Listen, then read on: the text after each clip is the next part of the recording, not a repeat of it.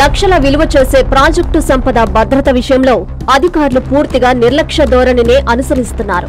మన సొమ్ము కాదు కదా ప్రభుత్వానిదే అనుకున్నారేమో భద్రత విషయాన్ని గాలికి వదిలేశారు. రెండు వేల ఇరవై ఇరవై ఒకటిలో వచ్చిన ఉప్పెన లాంటి వరదలకు సోమశిల గ్రామ తీర ప్రాంతాల్లోని ప్రాజెక్టు కార్యాలయం ప్రాంతం కోతకు గురై విలువైన మెటీరియల్ వరద నీటిలో కొట్టుకుపోయింది. ప్రాజెక్టు క్యాంపు కాలనీకి మంచినీటి సరఫరా చేసే పంప్ హౌస్ పూర్తిగా కనుమరుగైపోయింది. దాని ఎదురుగా ఉన్న ప్రాజెక్టు నిర్మాణ కాలం నాటి క్యాంపు కాలనీకి విద్యుత్ సరఫరా అందించి కొన్ని శతాబ్దాలుగా నిరుపయోగంగా ఉంటూ వచ్చిన జనరేటర్ హౌస్ కూడా పూర్తిగా వరద ఉధృతిలో ధ్వంసమైంది. పంప్ హౌస్కు సంబంధించిన భారీ మోటార్లు భారీ జనరేటర్ రెండు సంవత్సరాల కాలంగా నేటికి పెన్నా నదిలోనే అనాథ శవంలా పడి ఉండడం ప్రాజెక్టు అధికారుల నిర్లక్ష్యానికి పరాకాష్ఠగా నిలుస్తున్నాయి.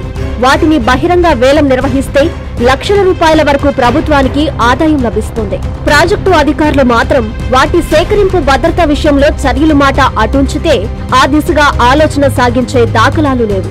ఇక ఆ వరదల తర్వాత నుండి ఇప్పటి వరకు విలువైన కార్యాలయానికి సంబంధించిన రేకులు ఇనుప రాడ్లు దొంగలు పాలవుతున్నాయని స్థానికులు చర్చించుకుంటున్నారు. ఇదిలా ఉంటే సోమశిల ప్రాజెక్టు నిర్మాణ కాలం నాటి విలువైన పరికరాలను ఇతర సంపదను భద్రపరిచే గోడౌన్కు అసలు తలుపులే లేకపోవడం విశేషం.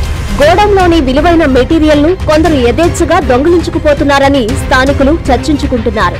కానీ అధికారులలో మాత్రం ఎటువంటి చలనం లేకపోవడం బాధాకరం.